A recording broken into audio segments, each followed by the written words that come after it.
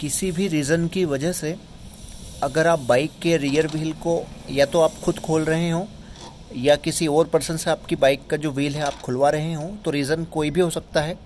या तो आप पंचर बनवाने के लिए व्हील को खुलवा सकते हैं, या फिर सर्विसिंग वगैरह के लिए। तो जब व्हील आपका अपनी जगह पर टाइट हो जाए तो आप इस बोल्ट को क्रॉस चेक करिए कि ये बोल्ट टाइट है या नहीं। ये आपकी बाइक में जो भी काम कर रहा हो, उनसे बोल सकते हैं कि, भाई साहब इस बोल्ट को ज़रा दोबारा आप चेक करिए।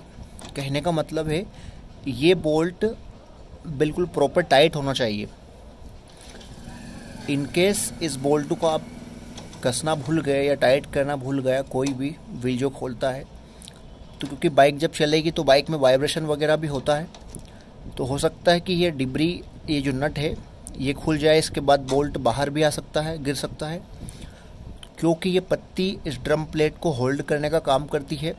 जब बोल्ट बाहर निकल जाएगा तो ये जो ड्रम प्लेट है, ये फ्री हो जाएगी, यानी ये अनहोल्ड हो जाएगी अपनी जगह से।